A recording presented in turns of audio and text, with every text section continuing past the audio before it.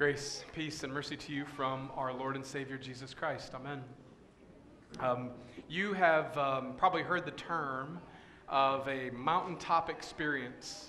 Um, usually it's describing some sort of religious experience, uh, maybe as a group, something memorable, something uh, exciting, something that would fill you with awe. Um, a mountaintop experience comes, and, and, and, it's an appropriate title, I suppose, um, even based upon our two readings that we have before us today. Um, they were literally on a mountain, and uh, uh, they experienced the presence of God in a, in a dynamic, wonderful, exciting, uh, powerful way. Um, I, I don't know if you would describe that of yourself. Maybe you would. Maybe you would be able to recall sometime in your memory where um, you've experienced some sort of mountaintop experience with God. Um, maybe it was uh, some sort of uh, large group worship setting. Maybe it was something uh, in nature where you were uh, in the presence of God or you felt that. Um, regardless of whether you interpreted or felt or experienced something like that or not, um, I'd like to remind you, and maybe even, maybe even, um, maybe even invite you to consider the more uh, routine, the more um, I don't even call it mundane, but but the more routine and regular, constant presence of God. Uh, because here's the problem that we kind of find ourselves into is that sometimes we see God as present in those great experiences, but then we we kind of begin to live like he's not present in the everyday. And so we kind of separate God out, that he's there in the uh, worship time, uh, or he's there in that dynamic experience, but he's not there when I'm having an argument with my wife. Or he's there in this exciting time when things are glorious and wonderful and pretty and, and fascinating, uh, but he's not there when I'm having a hard time uh, at work. Um, and th- and that, that's our challenge. That, that's our big challenge. So let me, let me just spend a little time with you uh, thinking through, talking through both of our readings today. And as we look at that, maybe we take a look at both of those readings and see how, how God then applies those words in our everyday. First one is the Old Testament reading, and it's probably maybe somewhat familiar uh, to some of us. It's this uh, opportunity where Moses is invited to celebrate this covenant partnership, this covenant with God's people. Um, and it kind of goes like this. So, so the people are uh, hearing God's word, they're hearing the commandments, and they are having them read, and they're saying, We're in. We will be your people, God. And God is responding by saying, I will continue to be your God. And so the commandments are there, and they say, Yes, we will obey. We are your people, God. We are your chosen people. And God is responding by saying, Yes, and I am your God. And this is a pretty fascinating, incredible thing because they know that the God that they are a part of now is the God of creation. He's the God that uh, rescued them. He's the God that created them. He's the God that made the sun and the moon and the stars. And so now, because this God of creation has chosen to be their God, this is an incredible partnership that they have. And the covenant is now uh, made confirmed. Sacrifices are made, blood is shed, the blood is uh, sprinkled upon the altar of God, and then it's sprinkled upon the people of God, symbolizing and knowing that they are now covered by the blood of the covenant. It's confirmed. Sounds like an odd way to do that in today's world, but in that time, it was the most powerful way to confirm this covenant. And so then the story goes uh, here they are, the people of God. And so now God has invited Moses and the 70 elders, the leaders of the church, to represent the church, to come up the mountain and to be with him. Now, this is a shocking uh, and even terrifying prospect. Now, imagine for just a minute um, that if we were to then try to approach the sun itself, right, the shiny sun. Um, we know that we can't do that because we would be burned up before we ever got close. Well, now, what they're invited is that the God who made the sun, the creator of the sun, is inviting them to come close and to be with him. Now, what they knew is that they would be burned up. They're sinful people. This is a holy God uh, they, they would never survive such a thing. But the text is very specific and says, no, they were invited to come into his presence. It even says more than that. It says that they, they invited to have a covenant meal in the presence of God. They ate and drank with him. So they're hanging out with God, right? They're having a meal with God, a covenant meal. And the covenant meal was known. It was something that was common, right? That they would even have like the Passover meal where there'd be various foods, and there'd be wine, and there'd be time to relax and rest in the presence. And now they're resting in the presence of the Almighty God. And they survived it. In fact, they enjoyed it. It's a pretty incredible thing. Um, this text right here in these last words, and they had a covenant meal with God and they ate and drank with Him. It's probably one of the most significant reminders of God in the presence of the people and the people in the presence of God. And remember, they, they had promised to be His people and God had promised to be their God, and now they confirmed it by this hanging out together. But then what happens next? If you were to read the text, um, you could see that right after this, new chapter, new event, the leaders come back down the mountain and they find the whole golden calf incident. If you're unfamiliar with that, it's uh, the fact that the people of God, the ones that had just promised to be the people of God, um, they say that they took off their gold and they threw it in a, uh, melted it down, threw it in an oven, and, and out popped a, a golden calf um, right? Suddenly, shocked uh, as they were. Well, they were worshiping another God that they had created. Because now, this God that, that promised to be their God, the God of creation, and they had promised to be the people of God, how quickly they forgot. And the leaders, how quickly they forgot. Because they got involved in all the arguing and the discussion and the difficulty, and they were filled with disgust and hate uh, for even the people, the beloved people of God. It was a mess. Right? They're in the presence of God, they come down the mountain, and they walk right into a terrible mess, a mess of sin. Now we talk about the New Testament reading, the gospel reading. Similar story. Um, maybe a, a, bit of a different twist.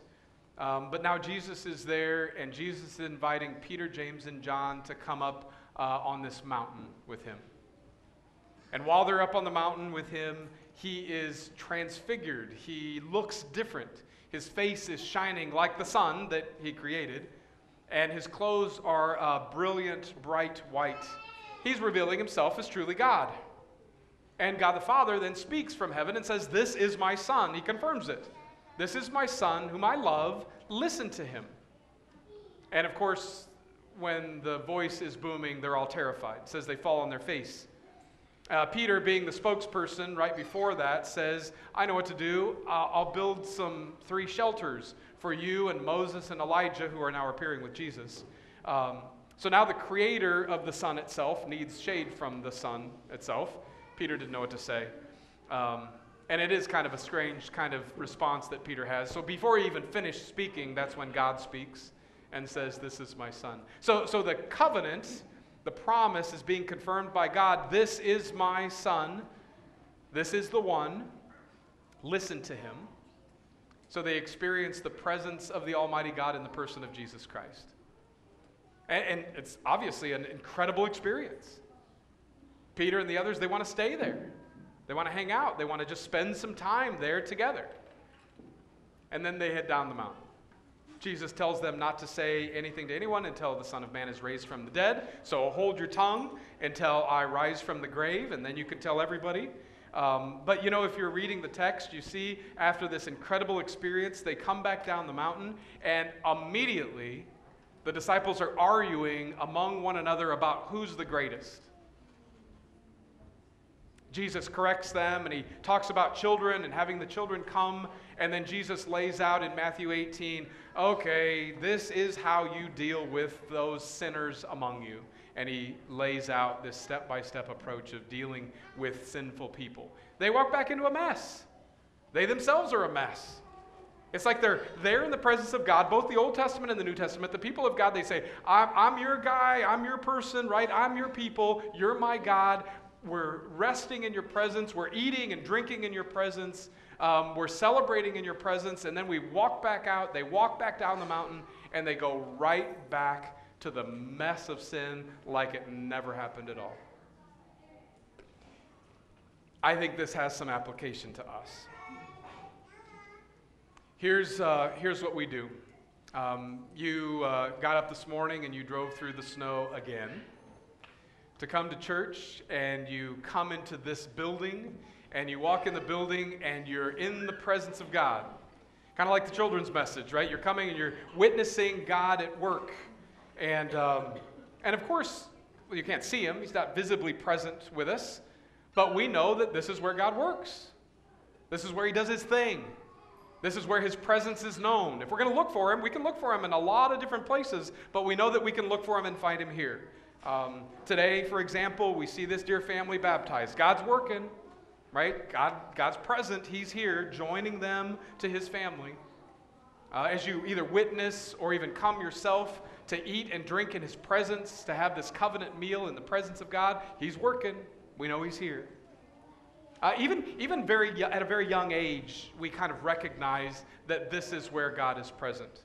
Um, we were up in Sioux Falls um, over the last week. Penn was there for a week. I was there for a couple of days, and I can't remember exactly uh, the context of the conversation, but we were talking, um, and, uh, and, and the kids were talking, and, and Jonah um, was explaining to somebody in the middle of, they're talking about just the presence of God.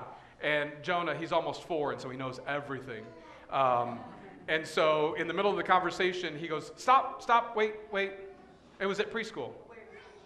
Yes, where do we find Jesus? And, and, and so it's preschool and it's grandparents' day, and, and the teacher's leading and reading a book, and, and all the kids have these different responses. And of course, our, our grandson says, Stop, wait, wait, wait. And the room gets quiet, and he says, We find him at church. And it's true. It's not the only place we find him. But we come because God works here. Not, but, but here, right? In, in the Word and Sacraments. But then we uh, typically um, we do this, we walk back out, we have this presence of God, whether we call it a mountaintop experience or not. Um, we come to this mountain and we eat and drink in His presence and we celebrate His presence and we sing praises in the presence of God. And, and, and, and we do that together as a, as a church, as His people. And then we walk right back out the door and we get back into our cars and it's like it never happened at all. And sometimes we, just like these people we're reading about, walk right back into the mess of sin, even the mess of our own sin, and we somehow think that God is absent. We somehow think that He's not present in our marriage, our home, our family. Somehow we think that He's not present in our workplace or in the relationship with our neighbors. Sometimes we think He's not present in our bedroom or in our living room right? Sometimes we think that he is, he is absent from us as his people, and we kind of like it that way. Because we can do what we do, and we can live our lives in a different way, or in a way that uh, might be unbe- unbecoming of us as Christians, because you know what's happening? Next week we can come back again.